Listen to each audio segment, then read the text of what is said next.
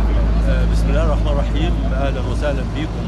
في مدينة العريش. آه، إحنا طبعا زي ما أنتم شايفين كده آه، جت امبارح بالليل أول قافلة برية بتضم حوالي 145 عربية. عليها مقطوع عليها طبعا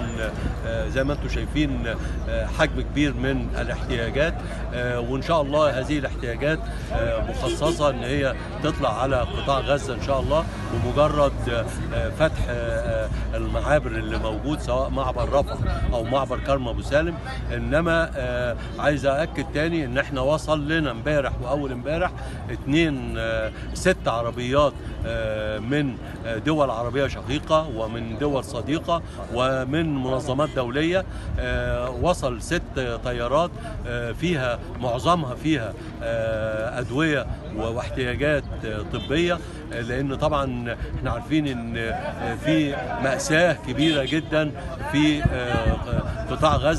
آه، نتيجة الإصابات اللي موجودة. وطبعا الأدوية خلصت الاحتياجات خلصت. فإحنا آه، نتعشم إن شاء الله إنه آه، آه، المعبر يفتح قريب عشان خاطر نقدر إن إحنا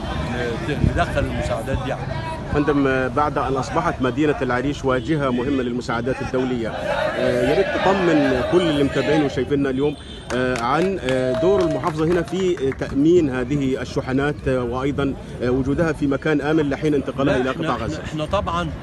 خليني قبل ما أجاوب على السؤال بتاعك أوجه تحية شكر وتقدير إلى أهلنا في شمال سيناء. وفي مدينه العريش على وجه الخصوص لأن أول ما ما أعلنت أنا عن وصول آه، احتياجات وإن محتاجين مخازن عشان خاطر نحط فيها الاحتياجات ديت آه، كل الناس أو معظم الناس آه، جت تبرعت بالمخازن اللي عندها وسواء بالاتصال التليفوني أو بالحضور للمحافظة. وده طبعا شعور جميل أنا بشكر عليه أهلنا في شمال سيناء آه، على يعني التلبية السريعة اللي حصلت. فبالتالي إحنا الاحتياجات محطوطة في أماكن آمنة ولسه أنا النهارده الصبح مكلم مكتب السيد وزير المالية عشان تتخذ الإجراءات القانونية اللي هي آه، بتخص لأن إحنا عارفين ان إن الأدوية والحاجات ديت دي بضائع وحاجات